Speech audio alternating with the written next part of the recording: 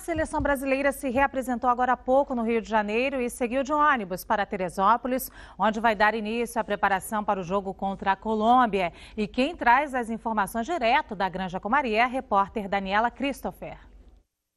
Tarde, os jogadores que não atuaram devem realizar um treino no campo e os titulares somente uma atividade regenerativa.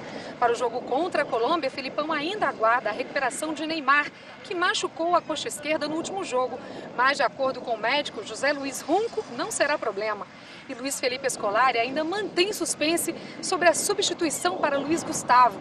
O volante foi suspenso após receber o segundo cartão amarelo.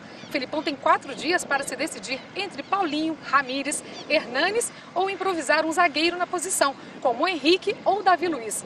Sexta-feira, o Brasil enfrenta a Colômbia em Fortaleza, no estádio Castelão, às 5 da tarde, pelas quartas de final.